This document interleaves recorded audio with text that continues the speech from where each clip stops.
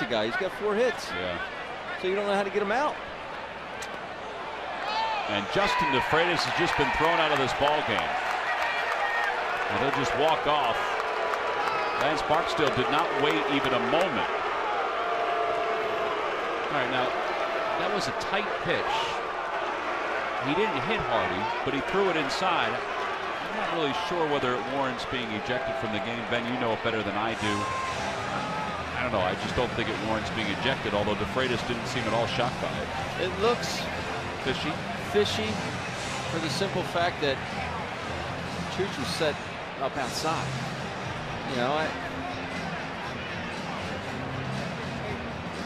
you know, if it was intentional, honestly, Tom, now's not the time to do that.